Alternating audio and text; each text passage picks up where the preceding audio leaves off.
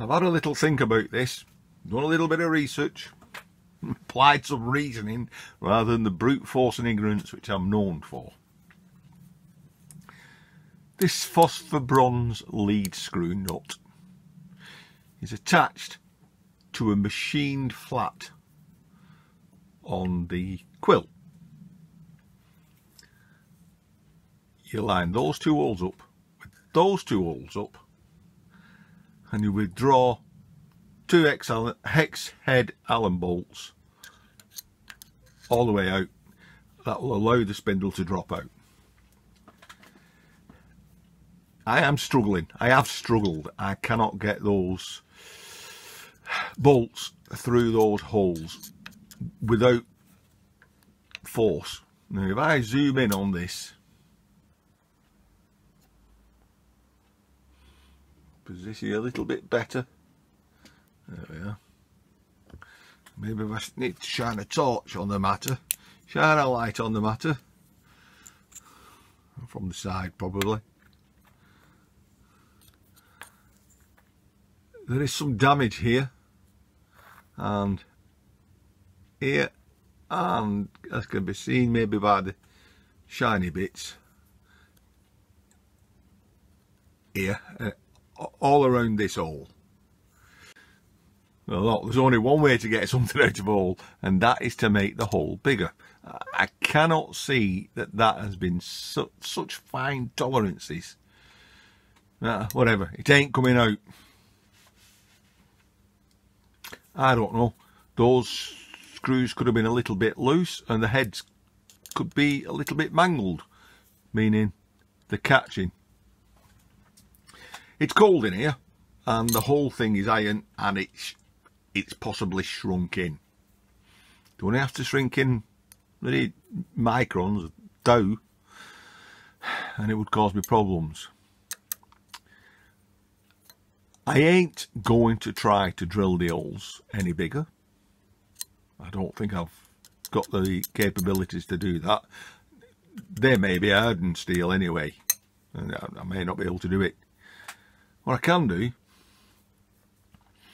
I can get a grinding, a conical grinding stone, or even a Dremel, and I can put a lead in on these two holes. There's obviously a bit of damage there.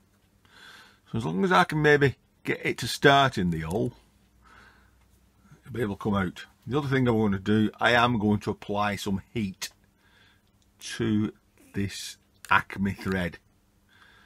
Uh, hot air gun, I think, rather than a blowtorch. Blowtorch will probably set everything on fire.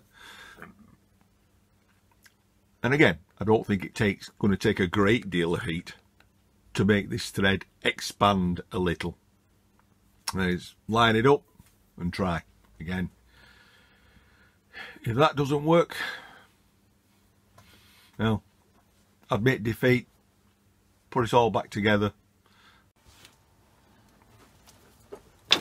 So with a, with a little bit of imagination, you know, I'm kind of doing this for myself as well so I can visualise what I'm working with. That is the shiny, shiny bit. That's the, the quill. On the quill is a machine flat. Now attached to that machined flat is that phosphor bronze but lead screw nut. That's the top of the lead screw nut. That's the lead screw. And this is one solid piece. So as you wind the handle, the lead screw stays still, but the quill moves up and down. To dismantle that, to remove the quill, I need to take the phosphor bronze lead screw nut out of that machine recess which means I need to remove that screw. To do that, you wind it down until that hole lines up with the screw, lines up with the outer hole. Now remove it. Undo the other nuts and bolts, ease it off and take the lead screw out. What I'm up to, for some reason, even though it looks like I'm lining them up,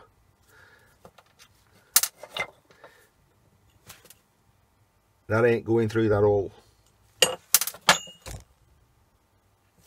That's what I'm trying to do. I am stuck on taking the quill out. I'm getting nowhere. I showed earlier in the video there was a tiny little bit of uh, of a burr. I've taken a stone, cylindrical stone, and I've uh, you could say I, I put a I put a lead in into that hole. I've had a hot air gun on it, heat, heated it up. I've still got nowhere. It still, still won't unscrew.